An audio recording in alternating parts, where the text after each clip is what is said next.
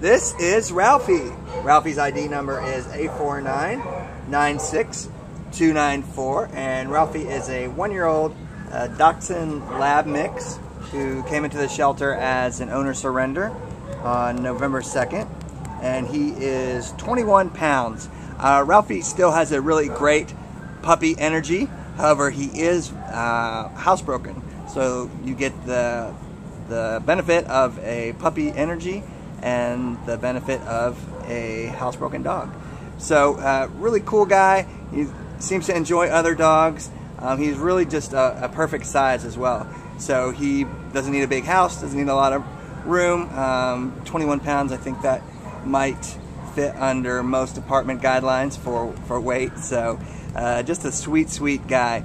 Um, Ralphy would be a dog that would benefit from somebody who has an active lifestyle, likes to walk him, spend time out together on hikes, and uh, just get to know this little guy.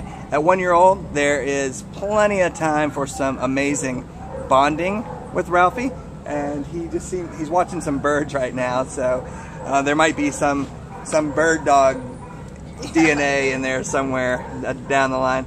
What else can you tell us about Ralphy? Well, Ralphy was uh, an owner surrender uh, because they said that he escapes. And in fact, I guess this last time he broke out a window to escape. And a dog gets that reputation, but many, many, many, many times it's because they're left alone. And they get anxious about being alone, they don't want to be alone, and so they'll do anything to correct that. So I think he's, he needs a secure environment, he needs a secure home or secure yard, uh, but he also needs a family that's going to be able to spend time with him because that's what he uh, wants and craves and deserves is, uh, is some attention and to be part of the pack and not be left out alone all day long and expected to fend for himself. So he's a good little young dog. He's very trainable. He's very attentive.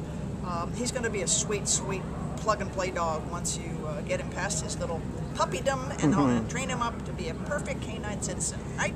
Yeah, and one thing you can say about a dog who maybe ha- someone says they escaped.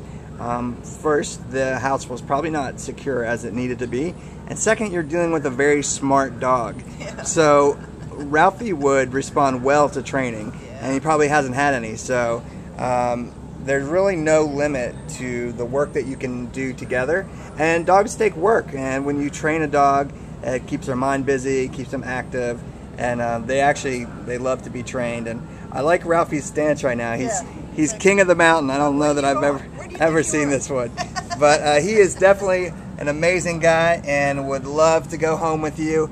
So come on down the Baldwin Park Shelter and meet Ralphy. Oh, look at that nose. Too cute. Too cute.